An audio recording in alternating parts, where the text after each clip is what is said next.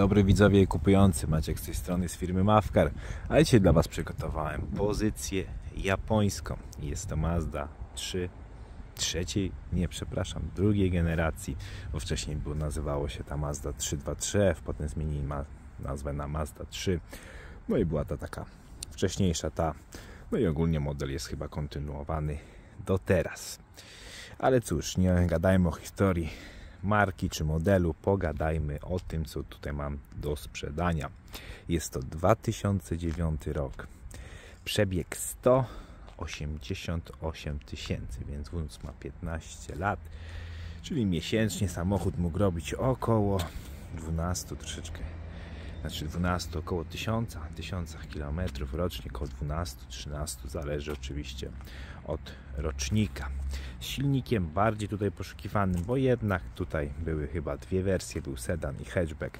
Jednak te hatchbacki ludzie woleli z 1.6, bo mniej pali i nadaje się również do instalacji LPG. Ma on moc 105 koni i dobrą opinię. Raczej ciężko mu coś zarzucić. Wygodny dostęp pod maską, no bo tutaj też występowały jakieś wersje wzmocnione, jak się nie mylę, nawet chyba 2.6, 2.3 to na pewno było, ale to też mniejsza z tym. Cóż, rocznik Wam powiedziałem, manual, przedni napęd. No i cóż, więcej warto dodać, że jest wóz dość dobrze wyposażony. Jak widać z tyłu czujniki parkowania, przyciemniane szyby, to już sobie ktoś przyciemnił po zakupie, ponieważ mam nawet tam homologację. W Niemczech bez homologacji nie dostaniecie TIV-u. Alu felgi 17. Od razu dodam, że na tych alusach są opony wielosezonowe, więc tutaj na zbliżającą zimę nie musicie się już martwić o to, żeby przekładać opony, no bo to jak wszystko od ostatnich lat nawet bardzo zdrożało. Jeszcze przy okazji z takich rzeczy dodatkowych macie czujnik deszczu, czujnik zmierzchu, więc według mnie jak na japoński pojazd jest dość nieźle. Mazda tam nie żałowała nigdy wyposażenia, ale za to Toyota Toyota jednak była troszeczkę w tym miejscu. Teraz samochody nie były dość tanie, więc tutaj macie wszystko do takiej przyzwoitej, normalnej jazdy. Jeszcze do, ja do tego często dorzucam rzecz zwaną tempomatem. Bardzo się przydaje w tych czasach, gdzie mamy coraz więcej autostrad. Jeszcze jak widać, tu w zderzaku są przeciwgielne. Co warto dodać, dużo osób szuka tych pojazdów, cena też jest bardzo zróżnicowana ich, bo przede wszystkim gniją. Tutaj o dziwo jest bardzo ładnie, w sumie inaczej by było, to bym jej nie kupował. Ma tylko malowane i dwa elementy, w tym jeden wykurzony dosłownie ciut więcej mikronów, żeby oczywiście nie było jakichś przejść w lakierze. Reszta, reszta jest cała w oryginale. Tutaj mowa o tych drzwiach. To już go tam sobie zmierzyłem wcześniej, jak dosychała po myciu. Około 200 mikronów na jednych, potem już 140 i mniej, czyli mogło być jakaś po prostu rysa. No i wracając do tej blacharki, jest zdrowa, jak widzicie, nie jest nigdzie pochrupana, a one też potrafiły bardzo, bardzo znić. Dlatego taki wóz potrafi mieć cenę od 12 do 20 tysięcy. Co jeszcze warto wspomnieć? Bardzo ciekawa stylistyka. Nie wiem, jak patrzę na samochód, od razu wiem, że mogliby zakleić znaczek, chociaż ja tam już tych samochodów widziałem w życiu dużo, że wiem, że to jest japońskie auto. Nie wiem, coś ma w sobie ten samochód, te kształty, te zaokrąglenia. Wiem, że to od razu Mazda. Tak samo u nich modne były białe yy, reflektory tylnie, chyba zadebiutowały w Mazdzie 6, ten ala Lexus Look. No i tutaj też to dalej przeszło. Tył dość ładnie tutaj taki wypięty. Widzicie, ten znaczek Mazdy wystaje z takim jakby rogiem. Fajnie też poprowadzona linia szyb. Nie jest taka wysoka. No wóz prezentuje się sportowo. Najbardziej powiem Wam, podoba mi się ten przód. Wcale się według mnie nie zestarzał. Teraz jest moda na małe, wąskie lampy, takie dosyć długie. Tutaj jak najbardziej pasuje do tego. Fajnie skomponowana. Tutaj ta osłona od pomarańczowego kierunkowskazu i przód naprawdę jak się tak na nią spojrzy, wesoła, uśmiechnięta Mazda, ale jednak zderzak taki silny, można powiedzieć lekko sportowa. Się zastanawiam, czy wszystkie takie były. Sobie wrócę do domu i spojrzę, bo nie mam dość często tych samochodów. Z jednego prostego powodu, tak Wam powiedziałem, dużo ich koroduje, ale kierować ich nie ma sensu. No i co? Dla wielu osób kolor marzenie nie jest to taka zwykła biała emalia, tylko jest to biała perełka. Bardzo ładnie się świeci słońcu.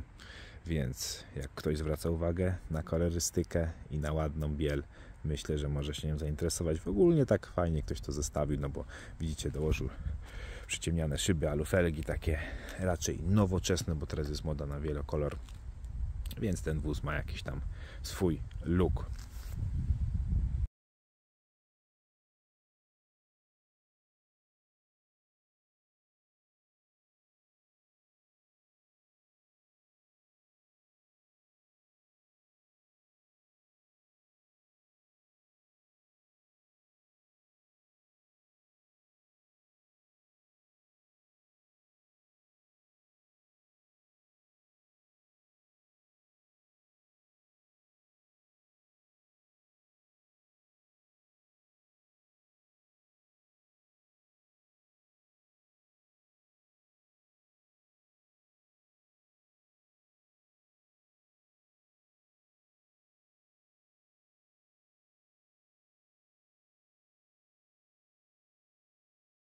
Dobra, moi mili, nagrajmy sobie wnętrze i zapomniałem o jednej bardzo ważnej rzeczy, jak nagrywałem.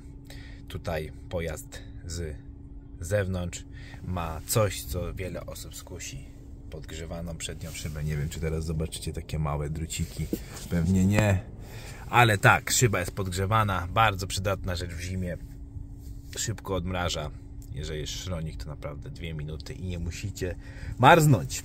A zima już niedługo. Dobra, pokazuję Wam środek. Środek przyjemny, czysty z tyłu i sofiksy. Tutaj jak widać podsufitka nie wisi. Linia tak przechodzi. Dość ciekawie. Materiały to jest miękkie. Tutaj już macie zastosowali plastik. Dlaczegoś te pojazdy były też tańsze i po prostu konkurowały bardzo dobrze ceny z propozycjami niemieckimi. Przechodzimy sobie na środek. Tutaj mamy komputer pokładowy, ten jasny, pomarańczowy jest od radyjka.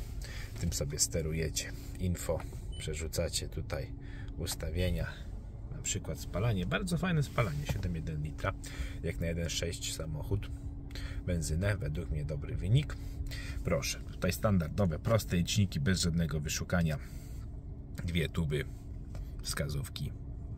No i na środku Wam pokazuje ilość paliwa i przejechane kilometry. Jak mówiłem, tutaj macie tempomat, włączanie go, proszę, włączany z cruise i tyle. A tutaj sterowanie od radyjka. Kierownica prezentuje się tak, skórzana, faktura jest cała, według mnie wygląda dobrze. Klimę macie przy okazji automatyczną, dwustresową, sprawną. Jak widać wszystkie przyciski pełne i tutaj też pełno, bo mamy podgrzewane fotele. No tak jak mówiłem, jest dość nieźle wyposażona. Tutaj jest również nawet lusterko z fotochromem, też duży plusik. Proszę, dwa miejsca na kubki, ręczny, wielki schowek, więc też duży plus. Pięciobiegowa skrzynia biegów i tyle. Tutaj cztery elektryczne szyby. No i kolejna rzecz, o której jeszcze miałem Wam powiedzieć. Składane lusterka. Jedno, drugie ładnie się złożyło.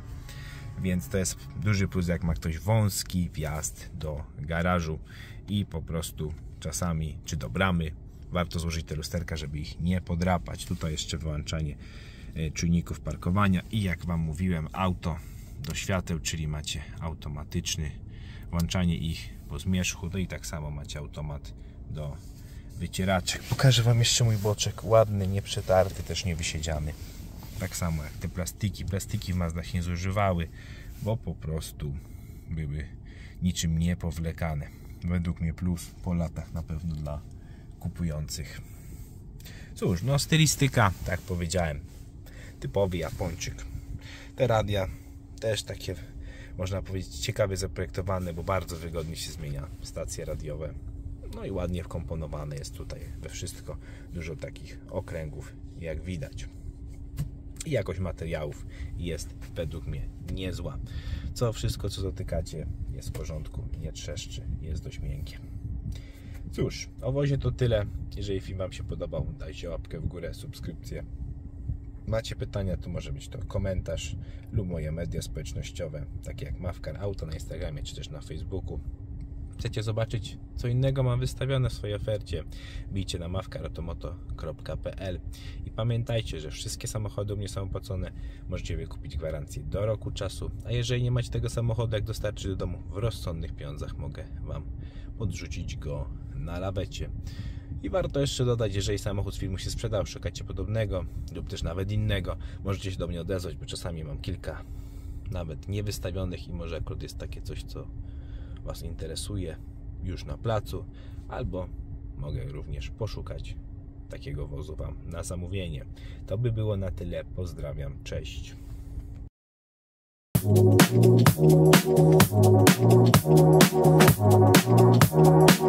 you.